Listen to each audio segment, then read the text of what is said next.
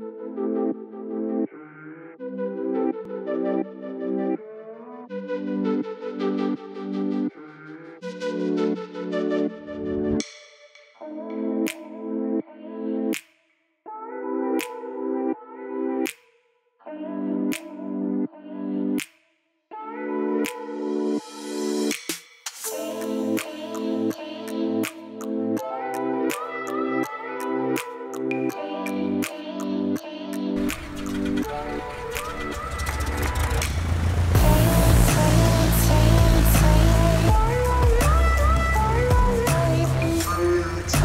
Excellent Charlie, Mike X-ray is taking off runway 27.